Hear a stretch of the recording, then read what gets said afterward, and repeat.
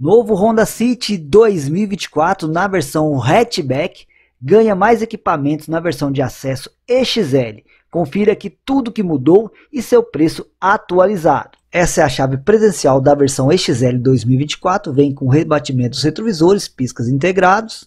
E aqui na dianteira não vai ter nada de novidade, ele conta com DRL na parte superior, farol aqui de dupla parábola com lâmpada halógena do tipo projetor, tá?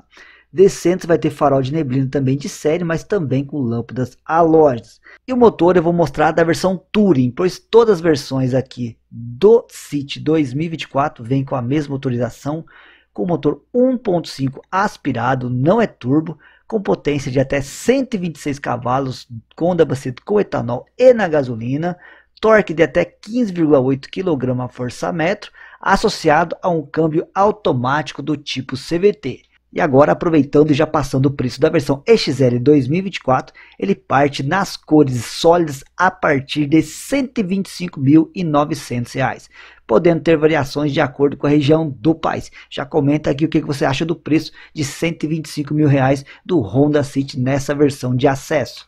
Vem com rodas de liga leve aro 16 polegadas diamantadas, antena do tipo barbatana de tubarão, aqui na lateral aerofólio com brake light. Aqui nós temos esse acabamento em preto, bem parecido com o do Chevrolet Onix. Aqui as lanternas são com assinatura em LED, que traz o visual mais bonito e atualizado para a versão do City Hatchback. Conta com câmera de e sensores de estacionamento traseiro. Porta-malas tem capacidade de 268 litros, não é um dos maiores da categoria, conta com iluminação interna e bancos bipartidos. E o que muda na linha 2024 é que a versão agora EXL também passa a entregar aqui saída de ar condicionado traseira e também uma tomada 12 volts posicionado logo aqui embaixo. Então, essa é uma das novidades da linha 2024 da versão de acesso da versão hatchback. Portas com revestimento em couro aqui na lateral, costuras brancas aparentes. O acabamento aqui da Honda ele é primoroso, como você já conhece.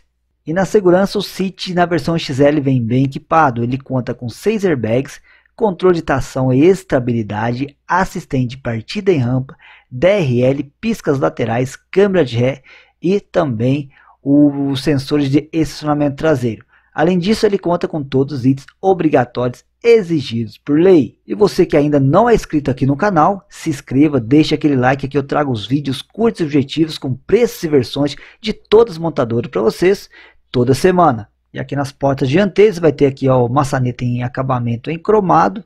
Aqui nós temos comando dos retrovisores elétricos e também dos vidros elétricos com rebatimento do retrovisor elétrico, como já mostrei para vocês, é só apertar o botão aqui, ó. Os dianteiros com revestimento em couro, ajuste de altura aqui para o banco do motorista manual, volante também com ajuste de altura e de profundidade, comando do ajuste elétrico do fastro do farol, também para desligar o aviso sonoro dos sensores e controle de estabilidade. Aqui nós temos o botão para você diminuir e aumentar a intensidade e luminosidade do painel, volante com revestimento em couro aqui na versão XL, volante multifuncional com detalhes e com acabamento também em black piano. Aqui você tem os comandos para você acessar as funções do painel de instrumentos, que ele é parcialmente digital, você pode rodar aqui, ó. Muito bacana, aqui novidade na, desde a linha 2022 aqui do Honda City. Aqui você tem as funções para você ajustar também essas configurações do painel parcialmente digital, como eu já falei. O painel de instrumentos tem aqui um cluster em branco e preto e também em vermelho, de fácil visualização, mantendo ali o, o computador de bordo ao centro. Aqui no detalhe os comandos para vocês da central multimídia. Aqui o piloto automático e limitador de velocidade, posicionado do lado direito. Vai entregar o acendimento automático dos faróis, posicionado neste comando. Também conta com pedal shift atrás do volante para simular trocas sequenciais, né, para uma pegada mais esportiva porque todo mundo sabe que o câmbio do tipo CVT que equipa esta unidade aqui e todas do CIT não tem trocas de marcha, são apenas simuladas. Esse é o câmbio automático do tipo CVT que privilegia o conforto e não o desempenho. Tem detalhes aqui na alavanca do câmbio, PRNDIS de esporte para você trocar lá as sequenciais, as marchas sequenciais, melhor dizendo. Também conta com o botão de Econ, que é o botão para você ativar a economia de combustível posicionado aqui. E ele informa no painel de instrumentos. Aqui nós temos a nova central multimídia com botões físicos posicionados aqui nas laterais. Conta também com é, uma multimídia com respostas rápidas, tá pessoal?